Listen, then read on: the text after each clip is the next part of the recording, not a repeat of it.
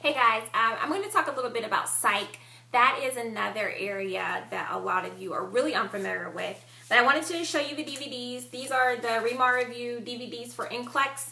Um, when you buy the package, you get four of these, and each DVD is about two hours. So the information that I'm talking from today comes from DVD number four, which is where I go over um, pregnancy, psych, therapeutic communication, drugs, TB drugs. So um, this is coming out of your PN workbook if you have it, your NCLEX PN workbook.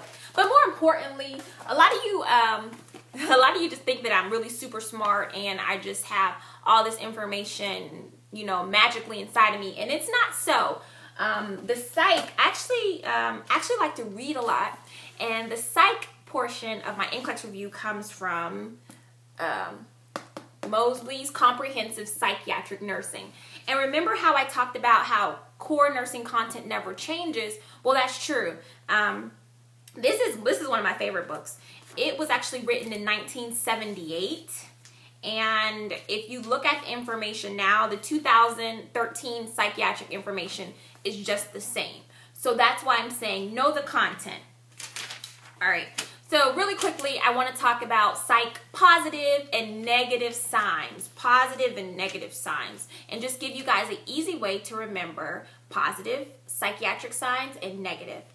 Um, so when NCLEX says which one of these are a positive psychotic or positive uh, personality or positive any kind of uh, um, mental illness sign, remember it's going to be the one that adds to the personality. Positive doesn't mean good or bad. Positive means it's adding to the personality.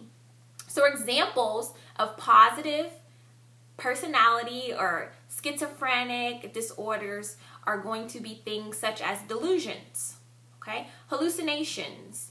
If your patient is energetic or impulsive, these are things that are adding to a normal personality.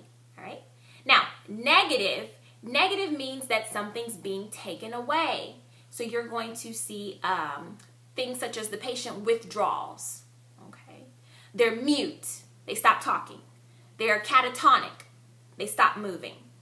Okay. These are negative signs. Um, they they don't care. They're they don't care about pets or they don't care about their job. These are negative signs. So positive and negative is really easy to remember.